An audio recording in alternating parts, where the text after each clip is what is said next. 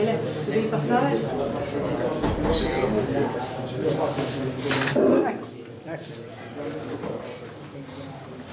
Bene,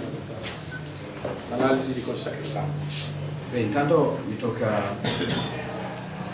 veramente spendere due parole su queste due partite che abbiamo fatto a Louisville con 14.000 persone. Devo ringraziare il pubblico perché si è sentito e ci ha trascinato in momenti, in momenti importanti, in momenti difficili. Credo che abbia dato una grande scossa, una grande energia a tutta la squadra che ne ha beneficiato. È stata veramente un'esperienza molto bella di cui il pubblico è stato protagonista e ci ha aiutato tanto. Adesso torniamo al nostro fortino, torniamo al Palladoza eh, a partire da mercoledì dove c'è una partita che abbiamo dominato all'andata ma che diventa in questo momento per noi molto importante per mettere un sigillo alla qualificazione di Champions League e spero che sia una grandissima partecipazione come è stata oggi perché è veramente stato un uomo, un uomo in più in campo e lo si dice sempre in maniera così molto banale ma quando poi lo senti davvero capisci la differenza. Detto questo credo che abbiamo giocato una partita molto difficile perché quando tu recuperi i giocatori da un lato pensi adesso ce li ho tutti, poi in verità quei giocatori non sono così in forma, non sono tanto allenati. E, e li abbiamo messi in campo lo stesso, abbiamo dato minutaggio a tutti, ha fatto 25 minuti Pietro Radori, ha fatto quasi 20 minuti Kevin Martin, ha fatto 12 minuti Brian, e quindi è stata una buona divisione di minutaggi dove non si è superata una certa soglia e nello stesso tempo però gli abbiamo dato un po' di allenamento. La squadra adesso ha bisogno di allenarsi, io ho bisogno che la squadra si alleni perché all'interno della stessa gara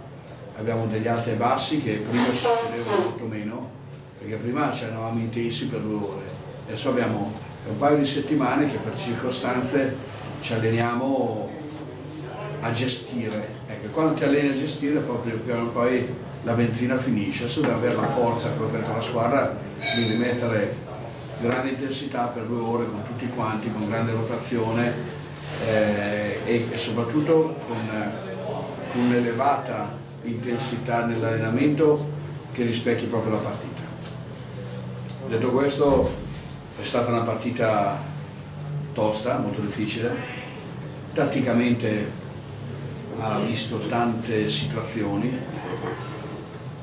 in molte ci hanno visti vincenti, in qualcuno l'abbiamo persa, ci ha visto vincenti nel, nell'attaccare i cambi sistematici loro col 5 allargando gli spazi con Tony Taylor che portava e attaccava Mica, ci ha visto vincenti in qualche situazione col 4 sul ribaltamento nel, nel passare la palla, ci ha visto perdenti quando prendevamo qualche tiro con un cattivo bilanciamento che abbiamo regalato a me una decina di punti in contropiede, un po' come degli un po' ingenui, ecco a dire la parola un po' ingenui. Però c'è stata dedizione da parte di tutti e credo che le ultime azioni al di là dei canestri fatti ci abbiano dato tanto sotto un aspetto di difesa e di mettere in conto. Non mi piace parlare dei singoli,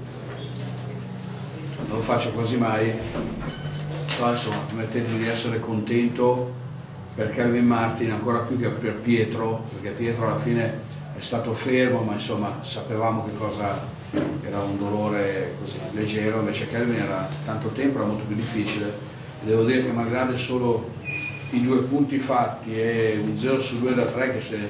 erano anche importanti per gli liberi, credo che ci abbia dato un po' la faccia nei momenti importanti di quando volevamo non fargli far canestro e lui ci ha, ci ha un po' guidati sotto questo aspetto ed è quello che io vorrei vedere sempre a questo gruppo. Domande prego. Eh, coach, eh,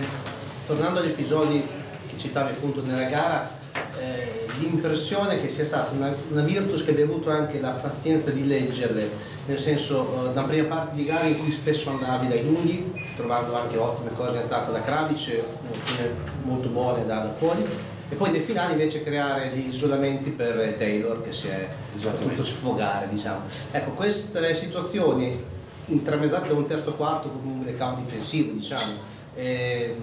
la tua lettura, la tua magari analisi? No, io credo che sia, stato, sia corretta la tua analisi, eh, credo anche che sia stata anche corretta la lettura che la squadra ha avuto di queste cose.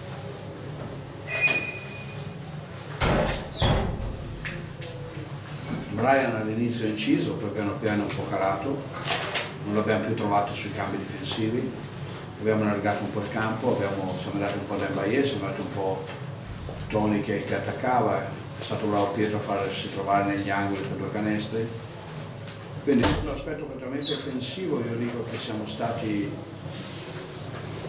siamo stati bravi. Ecco.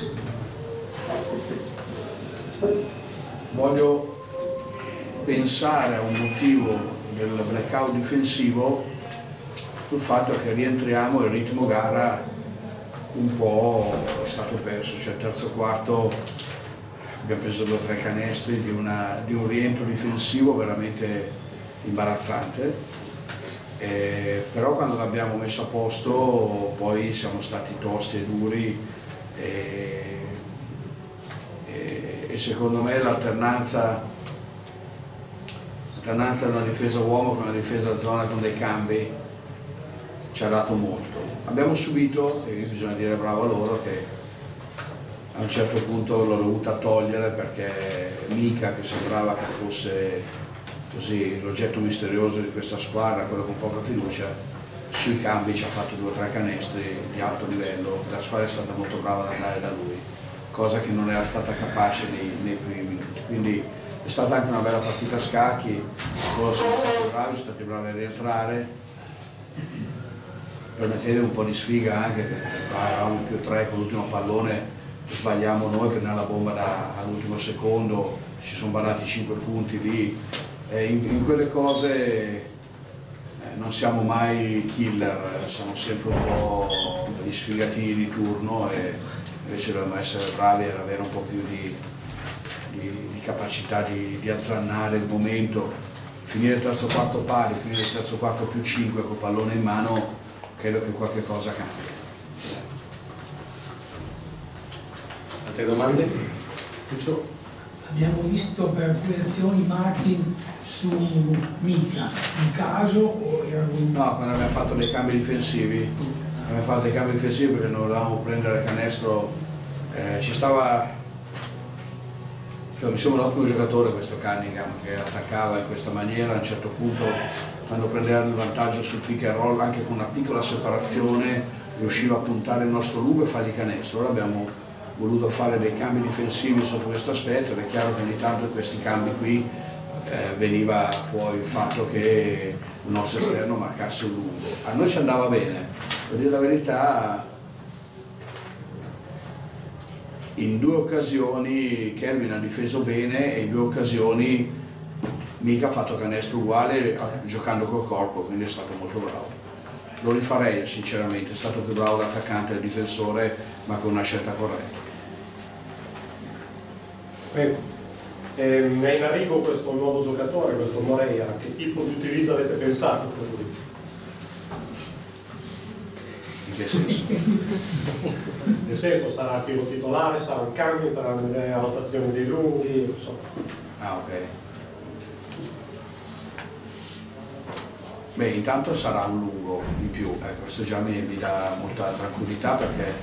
oggettivamente non è facile Brian, eh, ci stanno un po' di difficoltà di gestione su Brian, ecco, quindi vogliamo mettere una, fresca, una, una forza nuova, molto fresca, un giocatore abbastanza atletico, un giocatore abbastanza con intensità, poi dopo è chiaro che sarà il campo a darci se lui sarà col titolare o con non titolare, sicuramente ci sarà anche una rotazione tra i tre lunghi perché vediamo le condizioni. Mi piacerebbe che Brian prendesse una condizione buona per poter poi essere in campo e non dover spezzettare. Cioè io, io, ci tengo molto a partire di mercoledì perché se noi vinciamo poi possiamo permetterci anche ogni tanto di dire le prossime partite rimane col preparatore, lavora, fa un lavoro a parte e andiamo avanti con gli altri. Eh, poi è banale dirlo, non si può sapere prima, certo che se Kravic è quello di questa sera una cosa, se quello che abbiamo visto a Trento è un'altra. Ecco. quindi anche Dejan è normale nel suo processo di crescita di partite così importanti che si abbiano degli alti e bassi, però insomma mi è sembrato che eh, insomma, oggi l'hanno visto schiacciare con quella forza, con quella potenza, ecco, anche conquistarsi un pochino il territorio, penso che sia una, una sana competitività che, che entri tra i tre lunghi, però eh, diciamo che l'idea di base è quello di, di poter dare tempo a Brian, eh, di fare un, un, processo che sia molto allenante per arrivare pronto alle partite. Oggi lui ha fatto una buona partita per,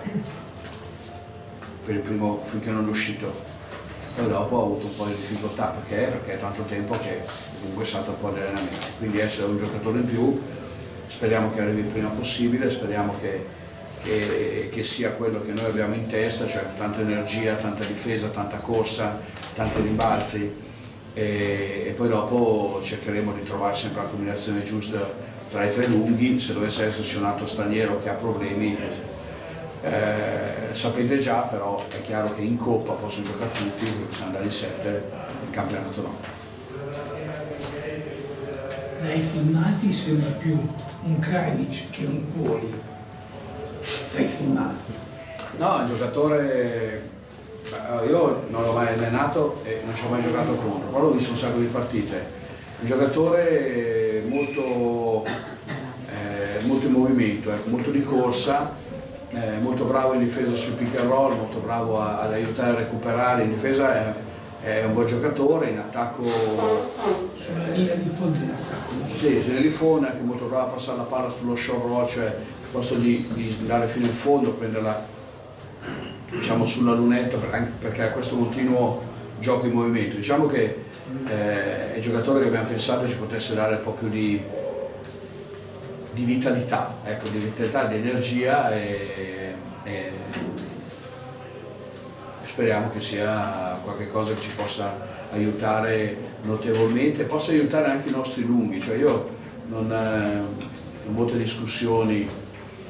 sul fatto che allora c'è uno bocciato, uno promosso, non è uno bocciato promosso, è un'aggiunta in più che alzerà la competitività e soprattutto non ci fa abbassare la soglia degli allenamenti che da due settimane, sono onesto, loro si allenavano benissimo, però si allenava più in infermeria. Ecco, e,